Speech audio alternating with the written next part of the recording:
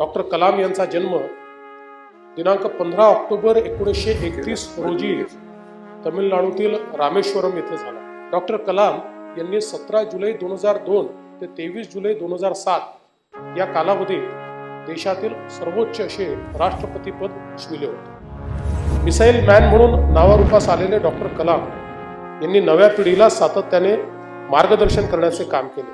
त्यांनी एकोणीसशे त्रेसष्टपासून Indian space research organisation ISRO या संस्थेशी ते जोडले गेले.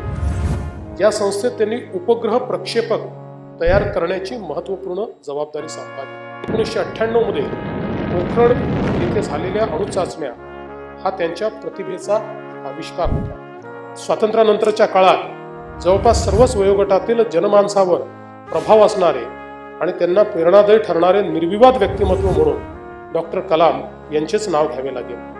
या देशामध्ये एकविसाव्या शतकाच्या सुरुवातीलाच हा देश एका डेमोग्राफिक डिव्हिडंडकडे जातोय.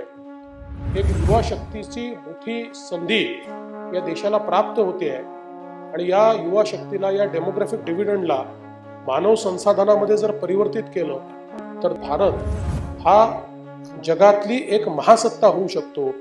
अशा प्रकारचं विश्वास आणि अशा प्रकारचं एक मार्ग या देशाला दाखवण्याचं काम माननीय श्री कलाम साहेबांनी केलं.